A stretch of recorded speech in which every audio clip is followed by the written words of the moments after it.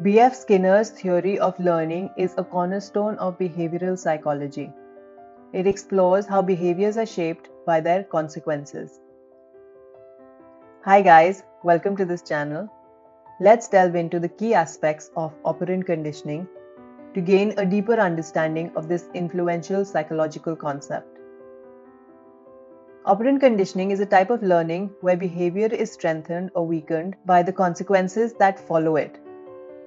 Unlike classical conditioning, which focuses on association between stimuli, operant conditioning emphasizes the relationship between behaviors and their outcomes.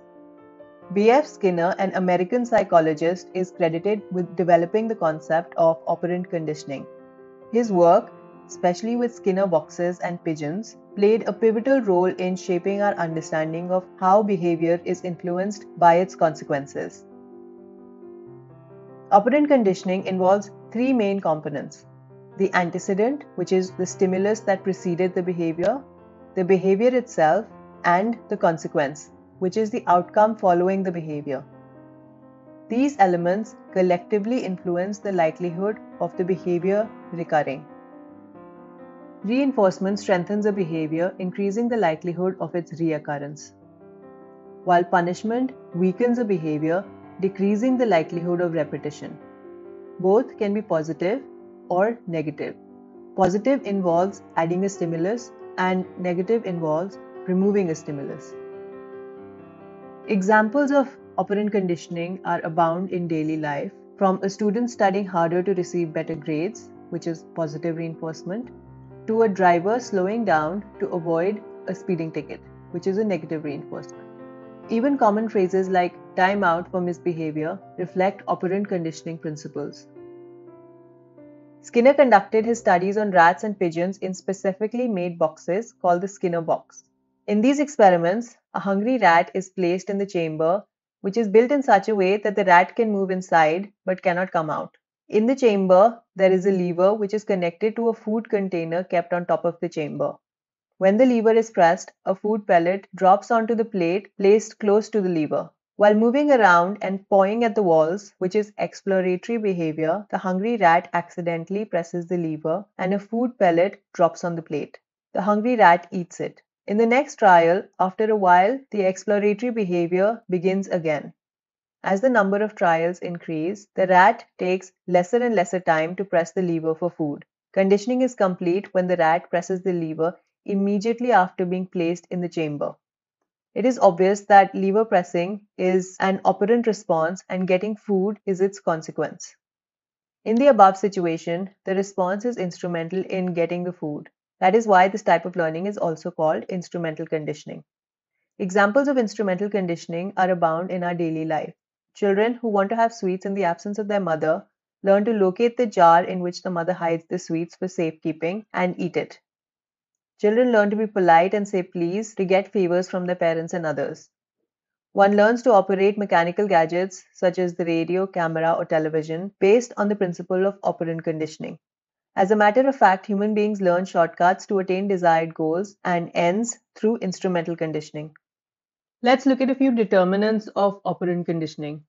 You may have noted that operant or instrumental conditioning is a form of learning in which behavior is learned, maintained, or changed through its consequences. Such consequences are called reinforcers. A reinforcer is defined as any stimulus or event which increases the likelihood of the occurrence of a desired response. A reinforcer has numerous features which affect the course and strength of a response.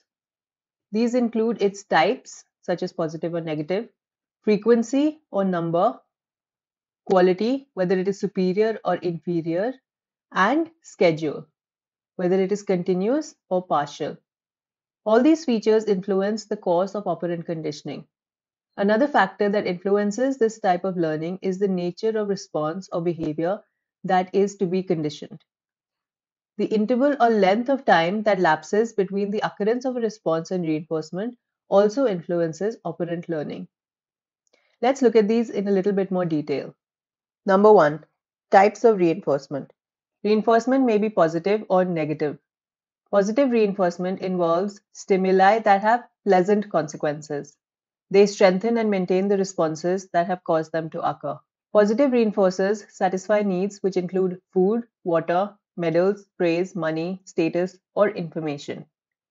Negative reinforcers involve unpleasant or painful stimuli. Responses that lead organisms to get rid of painful stimuli or to avoid and escape from them provide negative reinforcement. Thus, negative reinforcement leads to learning of avoidant and escape responses.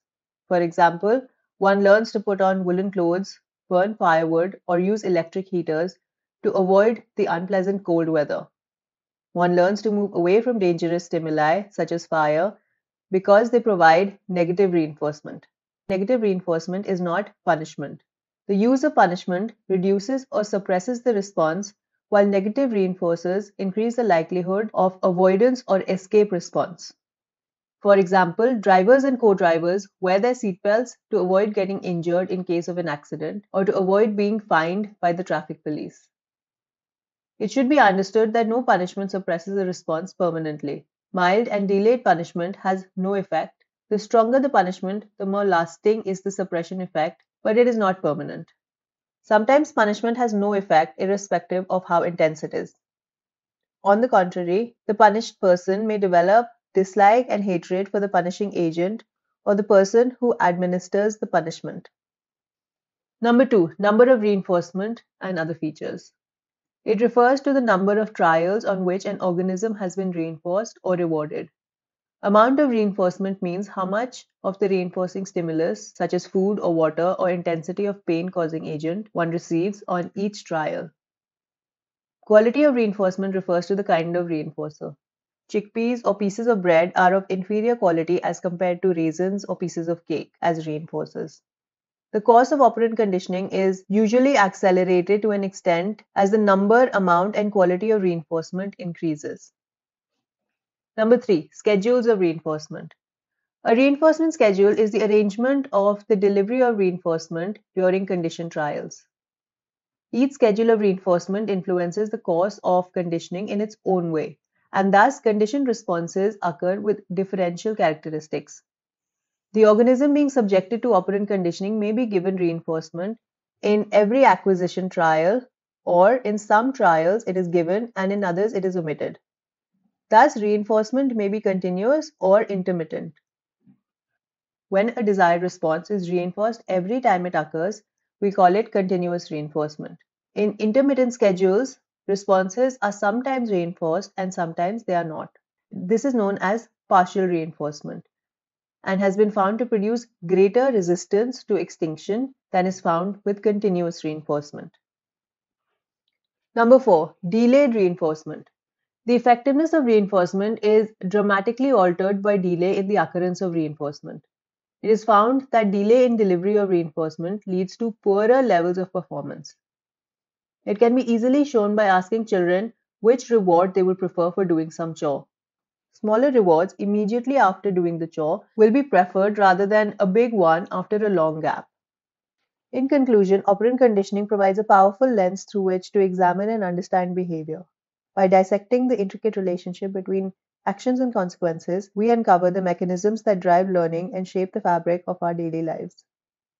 So that's it for this video. If you're looking for quality mental health resources, please visit my Etsy shop. The link is provided in the description box below.